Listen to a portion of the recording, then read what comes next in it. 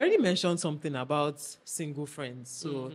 we're going to go into that because for me personally, I'm tired of this question, but people keep asking it, Okay. and it's about as a married woman, do you keep single friends? Yeah, I do. What do you do with your single friends? Do you did the dynamics change? Were you did anybody start giving you like attitude or something? or Did Okay. you give anybody attitude? I Okay, don't know. okay, okay. So let's say single friends, did the friendship change? Not at all. Okay. I have single friends Mm. because being married doesn't mean that I will throw away my friends. Yeah. These are people that have come a long way from like childhood and Exactly. Mm-hmm. university days and all of that. But then there was one person I had an issue with. Okay. This person was, I don't know, maybe because we've not seen for a very long time. Will I say the person was genuinely happy? I don't know. But this person stays in Lagos, I stay in Port Harcourt. This person was a friend. And this person was happy for me. This person even sent me a wedding gift. How come I came to your house like during this YouTube event and I'm like, oh, let me see a friend of mine, that kind of thing. And then on what was not even an issue, you used it as an issue. And they started saying, You're a married woman, you're this. And I'm like, Uh-uh. and this was just one week. One week of marriage. And I'm like, You're a married woman. And I'm like, in my head, I'm like, I bet no verse. When I married, you married. As in, Last week, Saturday. Today is what? And you're already calling me, you're a married woman. How can a married woman be? I say, now, wow, did the marriage cause problem? Because at Yeah. that point, I could not get. it's a sign that you're not, something. You're not talking to me directly. You're using, you're a married woman, you're a Mm. married woman. And I'm like, what is going on with this? You're a married woman. This is like a friend because most of my friends, they still see me like the normal me. I Yeah. they just know that they can't call me any time of the Certain day. times, yeah. But then they still see me like, ah, Jenny Alpha, they want to gist me, we'll still gist. Mm-hmm. But this one, you're a married woman. I'm like, what's going on here?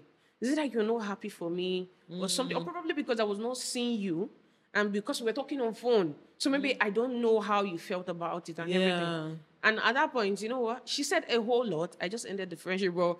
When I just kept on hearing you're a married woman, you're a married woman, Yeah. I said, this is not a friend because this is just one week of marriage. As and you're using this, you're a married woman. That means if we're there for how many years? Mm-hmm. It will become a problem. exactly. Hmm. At that point, I just I think that's the only friend I've- actually cut off out of my life. Yeah. Because she made the issue, and I'm asking her, is it this thing we're quarreling about, or is it something, Something you have in mind? Mm-hmm. And if you have something in mind, open your mouth and tell me. Mm-hmm. Let's talk about it. Stop referring to your married. I mean, Yeah. when I married, because I was very pissed, and this is just one week. I told her, please, you know what? I can't deal. I can't. I can't do this. I'm out. I just left, like I left her house because at that point I'm like, okay, this person is not genuinely. And a friend of mine was there.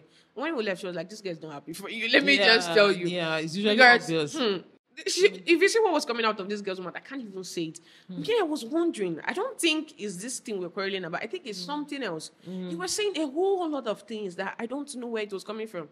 I just say, I beg, I beg, last, last, not be everybody. Yeah, happy for you. So I just. I just let it go. But every other of my single friends, we still talk to date. If I call them, we just like, Like normal, yeah. if it's to even talk about the guy, oh, one of my boyfriend is like this, ah, we even just about it. Exactly. Life goes on. Do you know, because I have single friends as well, and it's not, it's not, I don't even think like, oh, I'm now a married woman. Thank so, you. And I've been married for a, a while, oh, this is 11 years. You can imagine. Yeah, so I don't even see them and say, "Ah, Ah, I'm a married woman now, we can't discuss this. No, it's just, open-minded you talk you gist if she, my friend said if she even sees some funny memes that has to do with relationship will send it She'll to me and we'll laugh yeah. life goes on because even my nah. single friends, we talk about their relationships just like, the way I talk about my husband is we talking about her boyfriend. So Yes. it's not like there's any, Any- special, Thank you. someone is on top, one person is below. exactly No, so i don't even know how people do it that they say they cut off their friends Yeah. but that one she cut me off and they came back to apologize i'm like there's no need for There's an no need, apology yeah. we're done is that we're done because what are you apologizing for I asked you what is in your mind. Tell me. You could not. You just did there. They look me. They insult me. I just left. I said, Nah, I can't keep this kind of friend. Because for me, friendship is all about um, you being genuine, being honest. Yes. Mm-hmm. If there's something you don't like, come and tell me straight up. Life goes on. We talk about it. I tell you my own point. You tell me your own point. We move. But Mm-hmm. that particular one, I was like, ah, nah, this girl don't like me. Mm. Maybe she was just pretending because oh, I'm getting married. Because before then, she kept on saying like, oh, you're now on my level. I'm like, which one be your level? Because she got an iPhone 12 Pro Max. Her boyfriend got it for her. And then my husband, then when we were dating, got me and like, ah, we're not on the same level.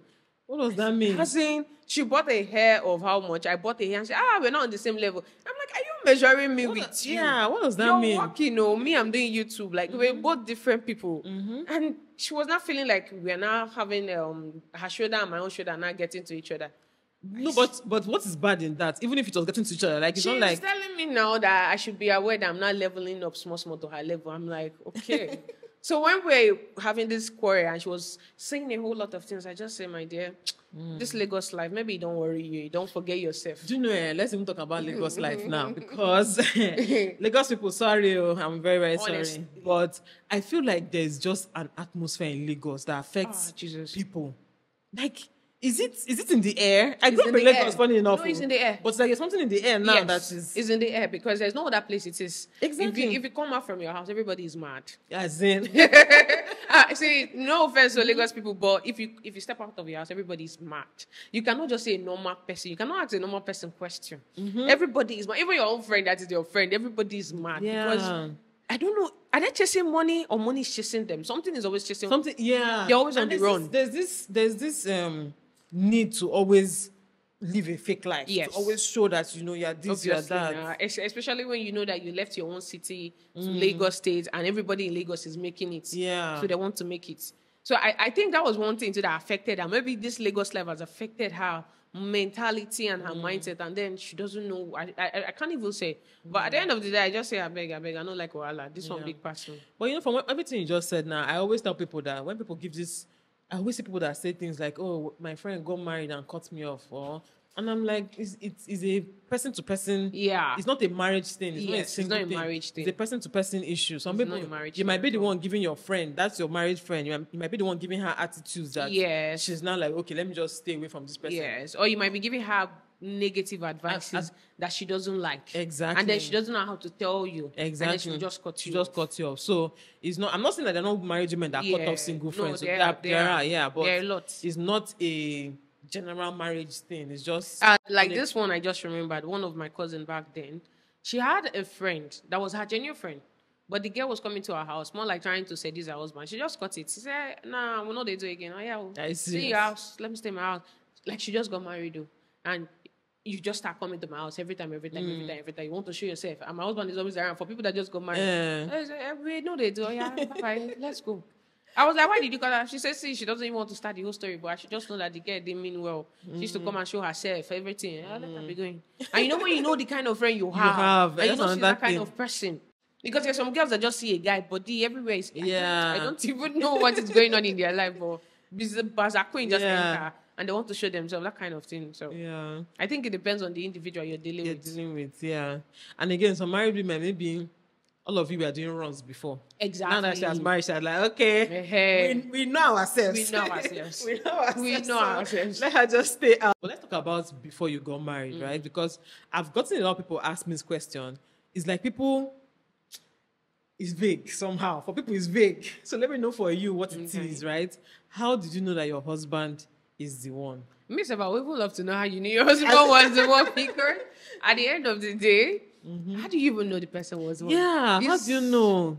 I, I think I think my own was different Okay. because I was in school back then, and I okay I was done with school, and I just prayed to God that anybody I'm meeting right now, let me let it be the person I will marry. That was one thing I did Yeah. because I made my own a bit different, and so when I saw it, I was like putting interest Yeah. because I was this kind of person back then in school. Oh my, you're giving me big, big talk. All this talk, you talk. Eh, I love you. I do this. I do. You're just speaking sermon. Mm. Yeah. If you tell me this one, Tom will come and tell me the same sermon. Jerry will tell me the same sermon. So at that point, I just told myself that okay, you know what? Now you're actually you're an adult already. You're done with school. What do you want to do with your life? I literally, what did I do? I just had to pray. Yeah. I prayed about it, and lucky enough, I was in no relationship as at that time. Okay. So I prayed about it, and I prayed that any relationship I was getting, let it be something that will lead to marriage, and let anybody that is coming my way be the person I will get married to. yeah. So I didn't just pray for a man; I prayed for the kind of man I wanted, Yeah. and how I wanted the man. Guys, see, there's something people make mistake about. You're praying for a man, you're praying God fearing. No offense, so the person has to be Mm. God fearing. if you want the person to have money, pick up, open your mouth and pray. Dear sister, Praise it out. Okay, be specific in your prayers. Mm-hmm. Don't come and pray God fearing and then tomorrow the person is God fearing and you have problem I with have- the person. uh-huh. If you want everything about say, guys, I don't want to be raw, but If you want the person's dick to be big, please pray it. As in, I don't even know what you used to do. Pray it because girls literally, people literally give themselves problem. yeah. You want something and you're praying about something and you're not mm-hmm. specific. Exactly. You're just giving a random prayer. Obviously, you'll get a random person. Mm-hmm. So at that point, I prayed for what I wanted. Yeah. And then when I saw the relationship, it didn't even take up to how many months? Like three months. When I saw the person, I was not serious. I mm. was still praying because I feel like it's another Tom or another Yeah. Jerry. Mm. So I just kept on praying and praying all through the relationship. And as because I pray every day for myself, I mm. just add it up as my normal prayer routine. And then so when it happened, I just knew because Yeah. there was no other person coming at that time. It was just that person and the moves the person was making. Today we feel like we want to break up. Tomorrow the person will just come in. I'm like, come, you know they tire. I thought we. I thought this thing is ending. Yeah. So at the end of the day, I just realized, okay, this person is actually the one. And even when I was asking my husband, he said, Do you know how I even knew you were the person I was supposed to marry? That I prayed to God that on my birthday, the person that will call me and send me, not like I don't have plenty girlfriends, so, mm. but the person that will call me and give me a birthday gift. And he mm. thought that I was the only girl that came out that day. I said, "See, voila." He said, yes, that all his friends that he had, all the girls he used to talk to mm. back then, none of them, they didn't even call him or anything, but I was the only person. That was when he just knew, you know what? Mm. This is my me wife to be. focus on said, this okay. person. So that's it. There are, there are different ways to know. I don't think there's, there's one way. But in my own case, I think what even made me know was just I met someone that checked a lot of boxes. Okay. Yeah, and I had those boxes. And, it, and the truth is that before then, my father told me, my father called me one day and said, sit down. Tell me the kind of man you want to marry. I mean, you know that kind of thing now. Because it's my father, I was busy shaping mouth. I want God fearing, intelligent, is you know that kind of thing. My father said you have to be specific. Yeah. Yeah. If you want it, even down to complexion. Be specific, you know. So I said all those things. Even when my husband came, like in your own case too, I didn't really see him like that too. In my mind, I was like, who's this one? God will Uh-huh. Come and be going. But over time, I started seeing that okay, all those boxes that I had that I even forgot about, self, he was Yeah. them one by yeah, one. same thing. So that was it. I was just like, ah, let's just go, let's just move on. I got married immediately after. In fact, I got married a week after or something like that after my graduation from school. Oh, From- wow. Yeah. So I wasn't even. And funny enough, at the time I got married, I wasn't even thinking of getting married. It wasn't like I was like all those people that are saying, ah, I want to get married now. No, I was just thinking of finishing school and you know doing other things in my life. But somehow I just saw the thing in front of me and I collected it because Yeah, I, I think that's the same thing that even Yeah. happened. Because even when, even when my husband was like, "Let's get married," I said, "That's how they used to do it. You don't know how to propose to somebody." Oh, that is my husband. Like, everything describing now it sounds like my husband. All this straight to the I point. swear.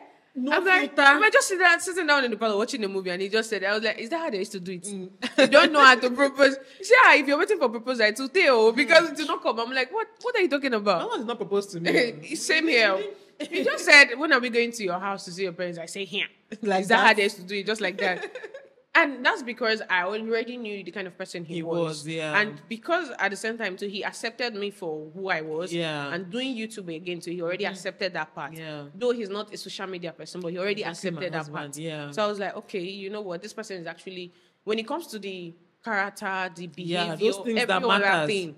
As in, you're just good. Yeah. Mm. I can't. I've not seen someone I want to compare. So when I saw all these things, I was like, you know what? This part will not spoil this, This whole part. yes, now. Not like the eighty percent outweighs the twenty percent. I'm Mm-hmm. like, okay, fine, I'm good. Or the sixty percent outweighs the forty. Yeah. That was it for me. Because another thing some people forget is that okay, we've turned this thing now to marriage. yeah. but something that people forget is that you can teach to an extent some of these frivolous things, all these yes, all these minor minor things. I remember my own proposal in quotes. I'd already bought the ring. In fact, I was one that bought the ring. I went to market bought ring for me and you know his own ring. So I was meeting him to give him his ring before the wedding so that he can now give his best man. So I now gave him ring. I said, Oh, guy, you have to kneel down. Give me back. I see my rings there. Yeah, kneel down, give me back. He now knelt down. I said, kneel down with your two knees. He now knelt down. I said, okay, ask me to marry. This when already done, I you everything. No. But all those things you can teach it. yes, they But learn you can't over teach time. those core values. You can't. Like, where Yeah. does it start from?